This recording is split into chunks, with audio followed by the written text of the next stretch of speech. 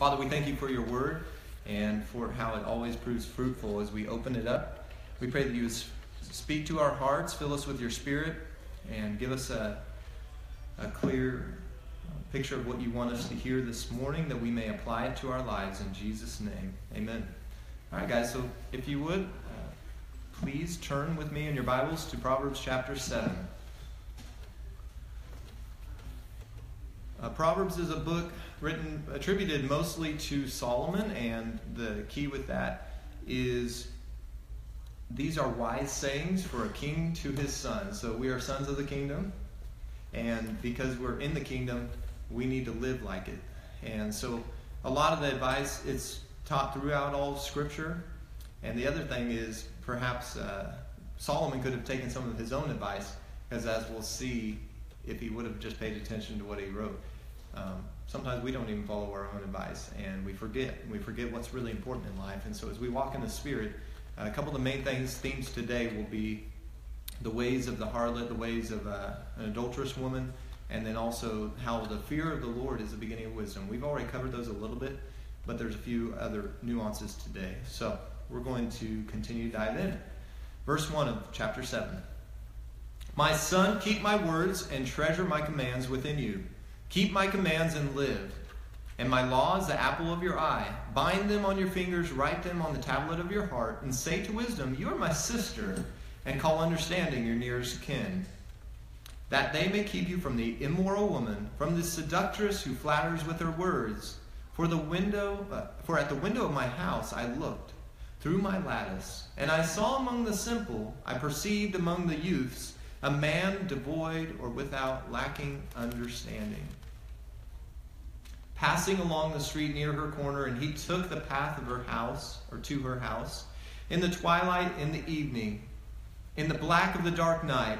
And there a woman met him, and with her attire, the attire of a harlot, and a crafty heart. She was loud and rebellious. Her feet would not stay at home. At times she was outside, at times in the open square, lurking at every corner. So she caught him and kissed him. With an impudent face, she said to him, with a shameless face, she said to him, I have peace offerings with me. Today I have paid my vows. So I come out to meet you diligently to seek your face, and I found you. I've spread my bed with tapestry colored coverings of Egyptian linen. I have perfumed my bed with myrrh and aloes and cinnamon. Come, let us drink our fill of love until morning. Let us delight ourselves with love. For my husband is not at home. He has gone on a long journey, and he has taken a bag of money with him and will come home on the appointed day or on the, the new moon. With her enticing speech, she caused him to yield. With her flattering lips, she seduced him, and immediately he went after her, as an ox goes to the slaughter or a fool to the correction of the stocks, till an arrow struck his liver, as a bird hastens to the snare. He did not know it would cost his life. Now, therefore, listen to me, my children. Pay attention to the words of my mouth. Do not let your heart turn aside to her ways do not stray into her paths, for she has cast down many wounded, and all who were slain by her were strong men. Her house is the way of hell, descending to the chambers of death. Well, good morning, everybody. How are we doing? What a delightful, but not so. Uh, in Proverbs 23, we have the picture of an alcoholic, someone who uses alcohol and, and how treacherous that is. Here we have the picture of someone looking through a lattice and seeing, it's kind of a figurative way, but this person is saying, I looked out the window and I saw the way that this foolish man went and how he was persuaded and enticed by this enchanting woman. And we're going to take a look and break down a few things that we see here. Uh, this is a recurring theme, so I don't want to overemphasize but I do want to hit some of the highlights. Let's look at the first five verses. Proverbs chapter 7. My son, keep my words and treasure my commands within you. Keep my commands and live, and my law is the apple of your eye. Okay? It's one thing for us to hear the Word of God, it's another thing for us to treasure the Word of God. And as a father to his son, the author here is saying, by the power of the Holy Spirit, we want you to keep words. What does that mean? Keep my words. Keep my command. Um, in Revelation, Jesus says, Because you were faithful um, and you have kept the word of my patience, Philadelphian church, so too I will keep you from the hour that is coming upon the whole face of the earth. So there's this sense of keeping, treasuring, putting it in your heart so that it is part of you and it's alive and it's active and sharper than any two edged sword. So when you have the Word of God in you and it's alive, you treasure it. Um, we're going to see later more than rubies or diamonds or silver or gold. It is, it is much more, more important than anything else in life. Amen? The Word of God, the Word, the teachings of our God, they're more important than anything. Amen? Because without that, we wouldn't even have hope. And so treasure those commands within you. If you keep those commands, you will live. You ever told your kid, hey, when I say stop, stop?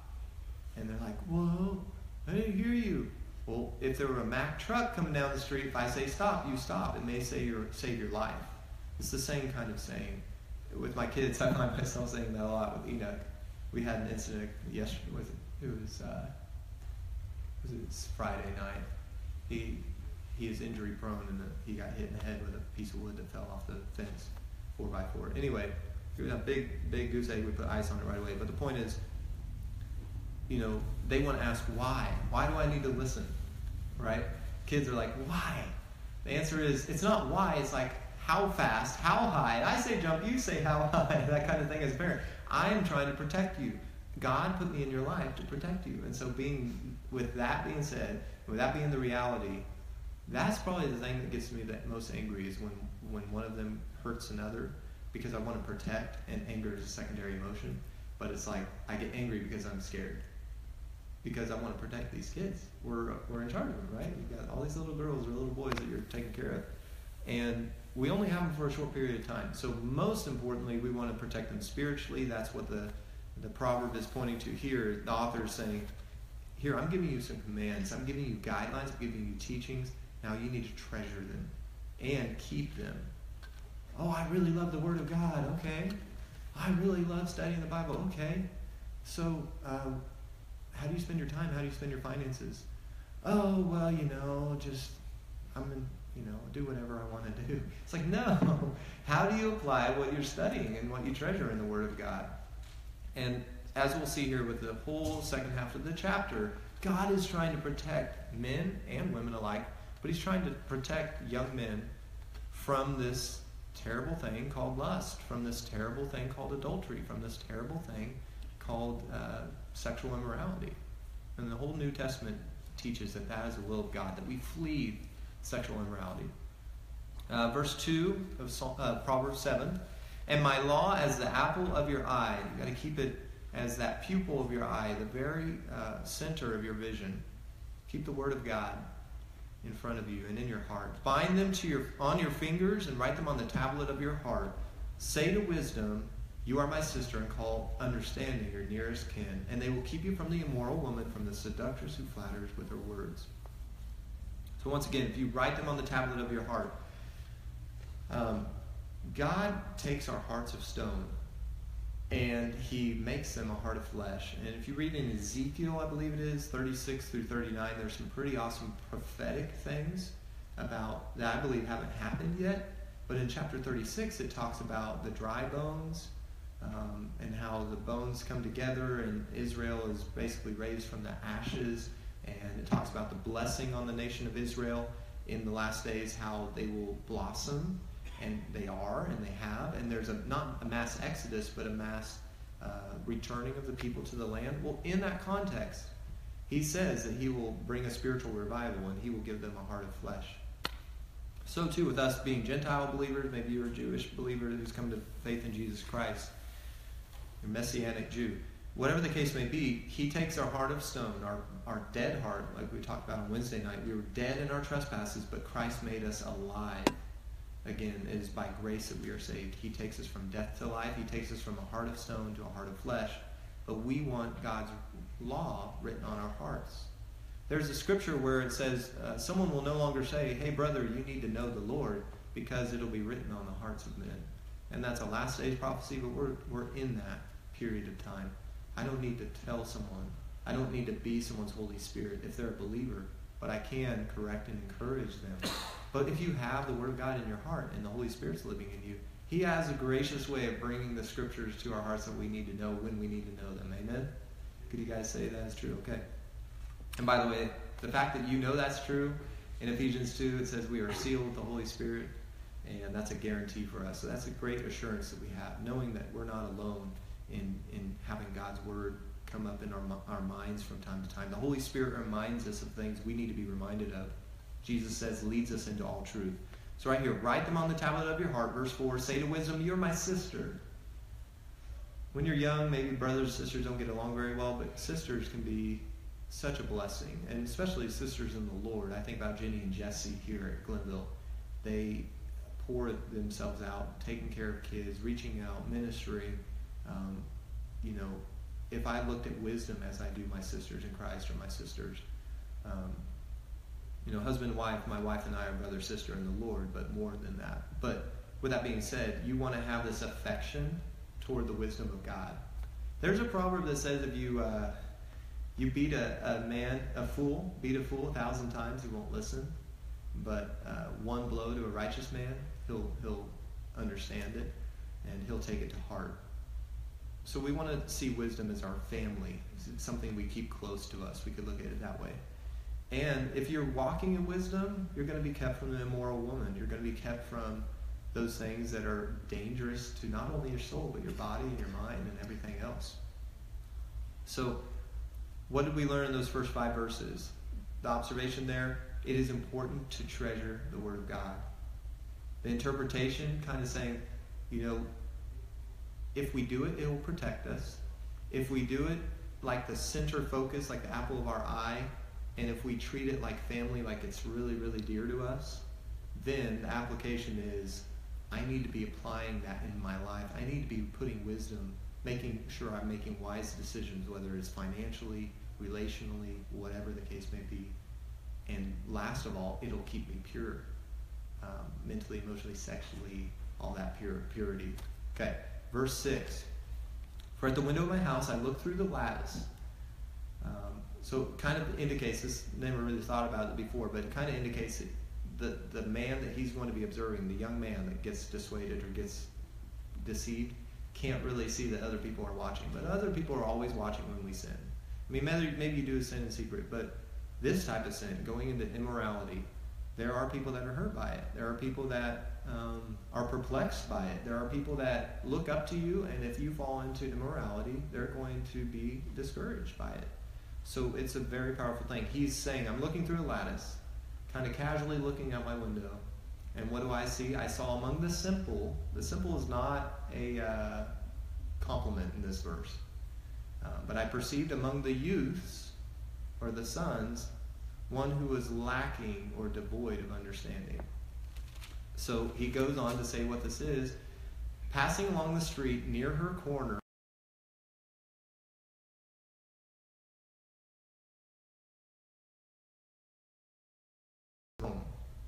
At times she was outside, and at times in the open square, lurking at every corner, so she caught him. I'm going to stop there. Judah, book of Genesis, had some sons. I don't know what it was with Tamar, if she was back cook, or if it was just very unfortunate circumstance, but her first husband died. Then her second husband died. And then on and on. The next son that was in order, Judah did not give his son to Tamar for marriage. He should have, but he didn't. I think it was in Shechem.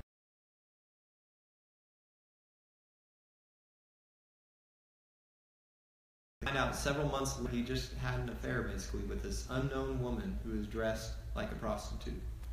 He goes home, and a few months later, they say, Hey, your daughter in law, Tamar, is pregnant. And he goes, She must be put to death. Like she is so wicked, right? And then so they bring her out, and she says, Look, the owner of the staff and the signet ring, this is the one I'm pregnant by. And Judah says, he well here's the thing he went back there looking for her couldn't find her because he was gonna he was going to get his ring back and staff back and he was gonna and he goes around town he's like where's the temple prostitute where's this harlot where's this woman that i was with And everybody's like, there's no temple prostitute, there's no harlot around here. And so he looked doubly like ridiculous, right? He looked like a fool. And then a couple months later, she's pregnant, and she says, This belongs to the man who impregnated me. And he says this She is more righteous than I, for I withheld my son that was due to her. She's more righteous than I. He was more guilty than her. Does that make sense? So that was a story of how someone dressed up, and this everybody in Solomon's time would have known that story. They memorized the Torah, most Jewish boys. They had heard that story dozens and dozens and dozens of times. Well, on a further note, prostitutes and harlots, I guess, were a thing even in the time of Abraham, Isaac, Jacob, and Judah, the sons of Jacob. Okay, um, but if you look at that, this this woman, this prostitution, this harlotry, is a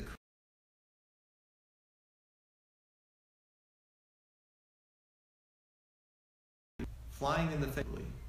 She has a crafty heart. We'll see in Proverbs 31 that beauty is fleeting and charm is very deceptive. Charm is deceptive. But a woman who fears the Lord is to be praised. Let her, her works praise her in the gate.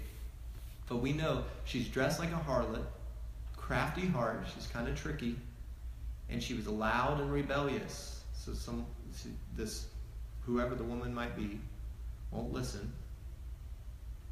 And her feet would not stay at home. She's just not faithful. And uh, we've seen this happen in our American culture millions of times over. At times, and it's the men too, she was outside, at times in the open square, lurking at every corner. Modern day. Now, this was written in a culture where they didn't have internet, they didn't have television, and they didn't have the billboards and they didn't have all of that radio and everything. Now it's like this on steroids for young people. I think I heard the other day that the, the first uh, look of a young person, a young man, at uh, inappropriate naked pictures is at age 11. So we have such access to it. It's terrible. It's terrible. But, and it's a cancer. I think there's more profit from that industry than all of the professional sports combined. So you look at that, that is a cancer in our society on every corner in the open square. And what gets glorified in our culture oftentimes are people whose lives are spiritually a wreck, but they look good on the outside. So she's on every corner. And what did she do, verse 13? She caught him and kissed him. So it's almost like she took the first move. She grabbed him. And we talked last time about Potiphar's wife, how she grabbed Joseph and he ran away. So this guy could have run away by then, right? Or at that time. And with a, a shameless face, impudent face, she said to him, and this is where it gets really weird. She starts getting religious and she starts talking spiritual, okay? But she's nothing but uh, profane. She does not care about the Lord, just so you know. You'll see. Again, I have peace offerings with me, real religious talk. Today I paid my vows, so I come out to meet you diligently to seek your face, and I found you. This is a woman who should be at home because her husband's gone. I've spread my bed with tapestry and colored coverings of Egyptian linen. Doesn't matter how nice your bed looks. I'm not going with you, okay? I have perfumed my bed with myrrh and aloes and cinnamon. I don't care how good you smell, right? They say, a good looking woman without discretion is like a pig with a, a nose ring, a golden nose ring. That's what it says in Proverbs. Let's see. She has no discretion. She may be good looking, but and she may smell good. In the words of Shania Twain, the great theologian, that doesn't impress me much. Okay? I perform perfume my bed. Then she goes, Come, let us take our fill of love until morning. Let us delight ourselves with love. So now she's getting to this passion, trying to appeal to his, his feelings. For my husband is not home, not at home. Wait, what? Your husband? He has gone on a long journey. He has taken a bag of money with him, and he will come home on the appointed day or at the full moon. So, with her enticing speech, she caused him to yield. With her flattering lips, she seduced him. Immediately he went in after her as an ox goes to the slaughter, a fool to the crushing of the stock. So we look at that. He's like an animal. She's leading him to be butchered. That is what the sexually immoral woman does to this man here, seducing him. Verse 22. Uh, the fool to the crushing of the stocks. No one wants to be known as a fool that gets caught up in sexual sin. I mean, it's embarrassing. But the stocks, you guys know what the stocks are, right? You stick your arms through and your head through, and people come by and slap you and throw their food on you, and you're just stuck there. This is in that time, in Solomon's time even, not just medieval times, they put people in stocks to embarrass them and to punish them and to basically humiliate them. Well, that's what this guy was like. He's saying, This is humiliating. If this was my son, I would be humiliated for him, is what the Proverbs author is saying here. Till an arrow struck his liver, as a bird hastens to the snare, he did not know it would cost him his life. So not only is he embarrassed, not only is he about to get um, chopped up, so to speak. Uh, you ever been hit by an arrow? probably doesn't feel very good. But hitting your liver, I mean, of all things. Um, and a bird hastens to a snare, being caught in a trap. This is such a, uh, a terrible trap that when people get stuck in it, um, it can really not just ruin their life, but it's hard to get, it's despair. It's like you feel like a dead man. Did not know it would cost him his life. Now, therefore, listen to me, my children. Pay attention to the words of my mouth, and do not let your heart turn aside to her ways. Do not stray into her paths, for she has cast down many wounded, and all who were slain by her were strong men. Her house is the way of hell, descending to the chambers of death. I want you guys to turn with me to Nehemiah. Ezra, Nehemiah, Esther, Job, Psalms. So it's just a few books back. The last last chapter, Nehemiah. Before Esther and then Job. Chapter 12, I think it's verse 38 or 13, 28. Sorry, 13. Right here, 13, uh, 25, and 26. Nehemiah 13, 25, 26. This is when Nehemiah is talking and he realizes so many people have married pagan wives. So it's kind of like the context that we're saying. They married women who were spiritually um, not faithful to the Lord, and it really damaged the people of Israel.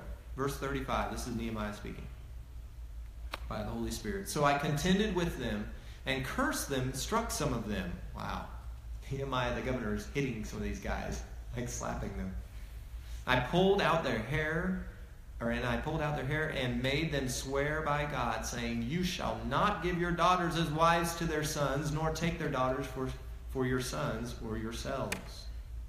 Did not Solomon the king of Israel sin by these things? Yet among many nations there was no king like him, who was beloved of his God, and God made him king over all of Israel. Nevertheless, pagan women caused even him to sin. And then he goes on, should we be or should we then hear of your doing all this great evil, transgressing against our God by marrying pagan women? And uh, looking at that, then he turns to prayer to God and saying, Look, I've tried to do everything I can, but this is stubborn people. Nehemiah is like, This is I can't even believe that we would marry pagan women. Okay, so let's let's go to the Christian world right now. You trust in the Lord Jesus Christ.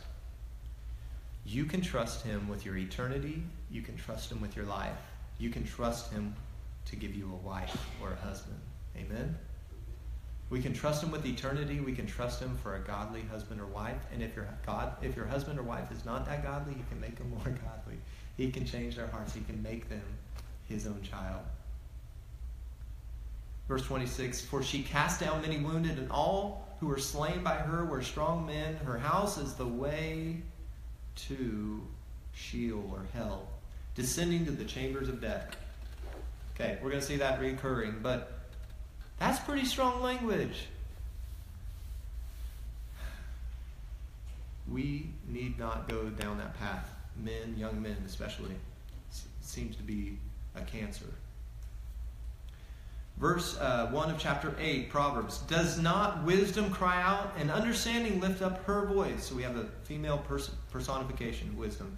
She takes her stand on the top of the high hill, beside the way where the paths meet. She cries out by the gates, at the entry of the city, at the entrance of the doors To you, O men, I call, and my voice is to the sons of men. O you simple ones, understand prudence, and you fools, be of an understanding heart. Listen, for I will speak excellent things, and from the opening of my lips will come right things. For my mouth will speak truth, wickedness is abomination to my lips.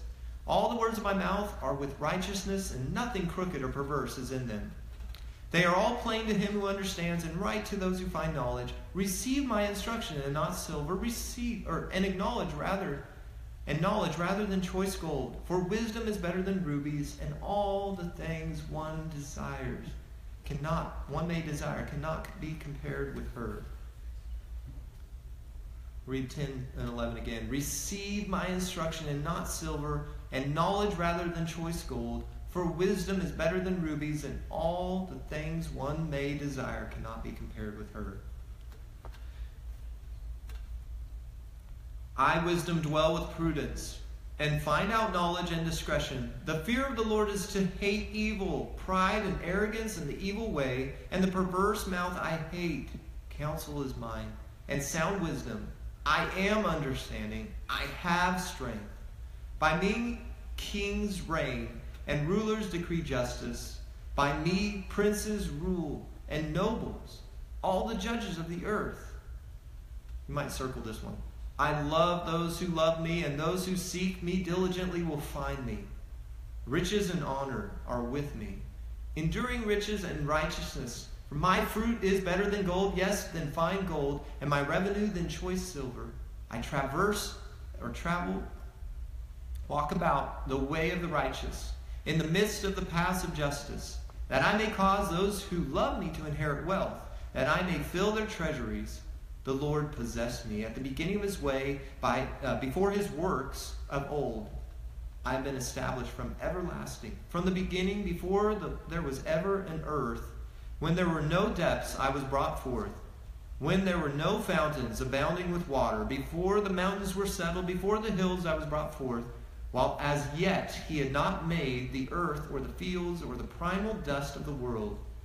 When, I, when he prepared the heavens, I was there when he drew a circle on the face of the deep, when he established the clouds above, when he strengthened the fountains of the deep, when he assigned to the sea its limit, so that the waters would not transgress his command, when he marked out the foundations of the earth, when I was beside him as a master craftsman, and I was daily his delight, rejoicing always before him, rejoicing in his inhabited world, and my delight was with the sons of men. Now therefore listen to me, my children. For blessed are those who keep my ways, hear instruction, and be wise, and do not scorn or disdain it.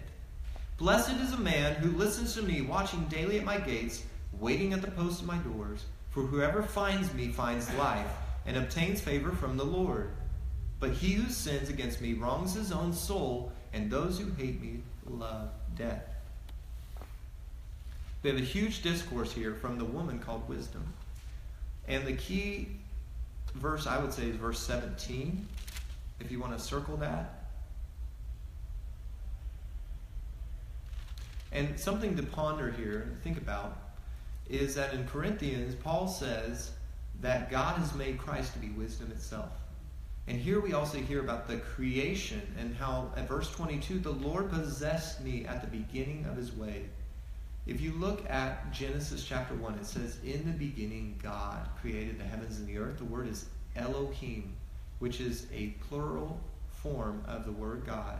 El being singular, uh, but Elohim, the Holy Spirit, the Father, and Jesus were all intrinsically involved, very much in agreement, and very much responsible for the creation altogether. Colossians 1, we see that all things were made in him, through him, for him. Hebrews 1 says that uh, in him, uh, that he holds everything together by the word of his power. And so, uh, 1 John chapter 1 uh, mentions how God, in the beginning was the Word, and the Word was God. Sorry, that's John chapter 1. In the beginning was the Word, and the Word was God. And it says, nothing that was created was not made by him. Um, so, looking at that, Jesus personifies wisdom, this, this female personification. And he who chooses Jesus, he who chooses wisdom, he who bows his knee and says, I will do the most wise thing right now and put my allegiance, my trust into Jesus and, and put my focus on him, will find life. Uh, verse 17, the reason why I said circle that. I love those who love me. Those who seek me diligently will find me. You look at the whole New Testament, it says that God resists the proud but gives grace to the humble. In Matthew 7 7, Jesus says, Ask and it will be given to you, and seek and you will find, and knock and the door will be opened unto you. For those who ask, receive, those who seek, find, and those who knock, the door is open. So we have to have this sense of diligence um, toward wisdom. Because what is the antithesis of wisdom? What's the opposite of wisdom? Foolishness, right? What's the opposite of being saved? Being condemned, being lost. What's the opposite of being alive forever? Being dead and, and lost forever. So, so wisdom, there's a lot at stake. If we're king's kid, kids, there's a lot at stake. Um, so wisdom cries out, cries out at the city gates. She's crying out to everybody to understand. Um, nothing wicked came out of the out of the mouth of Christ. You see there in verse uh, 7 For my mouth will speak truth, wickedness is abomination to my lips. Jesus never told a lie. Now, in stark contrast to other religions where you can tell a lie or where um, Allah could be a liar, our God does not lie. It is impossible for him to lie. And he said he'll never leave us nor forsake us. Jesus never lied. For my mouth will speak truth. There's nothing crooked. That's the other thing I love about Jesus and I love about the Word of God. There's nothing crooked. If you don't understand, you probably just need to read 40 verses before, 40 verses after, or read the whole book itself so you can understand it better. But usually, people, anyone who says that the Bible is crooked, they haven't, they're ignorant. They haven't read it. They haven't had the Holy Spirit come into their life. And we talked about that last time. I think be filled with the Holy Spirit, that helps you actually understand what the scriptures say because the Holy Spirit authored it. So you're going to be prudent if you're wise. If you're a child of God, you'll be wise, you'll have prudence, you'll have understanding, you'll have knowledge. All these things go together. You're going to have justice because you won't want to oppress people who shouldn't be oppressed, verse 15 and 16. You have kings and princes and judges of the earth. If you're a child of God, uh, Paul said, you know, where is the philosopher? Where is the disputer? Where is the um, wise man? God has purposely made their wisdom to be foolishness and their strength to be weakness by the foolishness of the preaching of the cross and taken those things which were nothing and shamed those things which are, taken those things which are weak and shamed those which were strong, taken us, not many of us were mighty, not many of us were noble, not many of us were good looking, powerful, and all these different things, but yet God has used the simple preaching of the cross, which is foolishness to them that are perishing, but to us who are being saved, it is the very power of God. That is what God uses. That is the most wise thing. And that fruit is better than gold, better than choice silver, verse 19, better than rubies, better than anything we could ever treasure. Verse 22, all the way. Uh, oh, I love this. It says, I don't even have enough time to adequately cover this. I'm so sorry. This is terrible. Verse 27, the circle of the deep. This proves that Solomon, by the Holy Spirit, they knew that there was a sphere, a circle.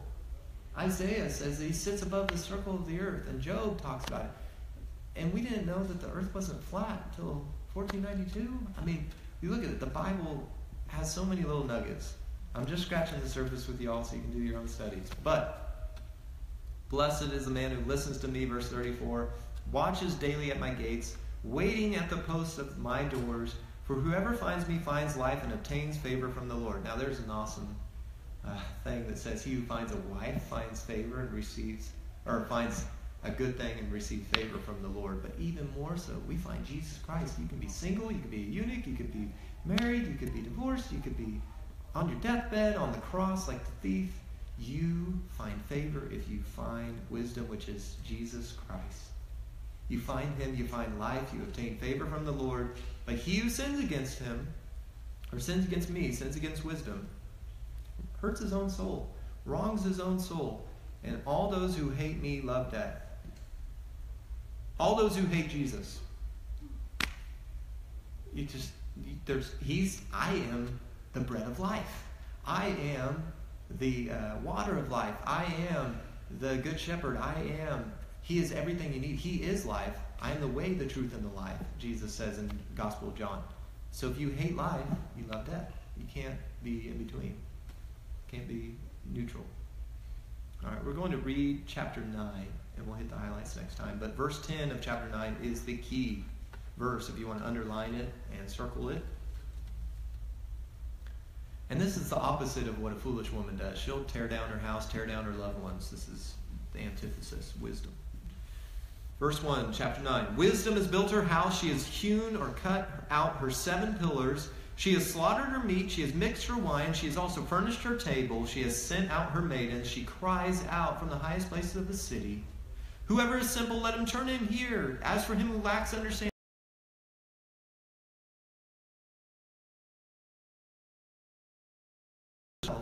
do not correct a scoffer, lest he hate you. Rebuke a wise man, and he will love you. Give instruction to a wise man, and he will be still wiser. Teach a just man, and he will increase in learning. Verse 10, the key of this chapter. The fear of the Lord is the beginning of wisdom, and the knowledge of the Holy One, Jesus, is understanding. For by me your days will be multiplied, and years of your life will be added to you. If you are wise, you are wise for yourself. And if you scoff, you will bear it alone. A foolish woman is clamorous. She is simple and knows nothing. She's boisterous.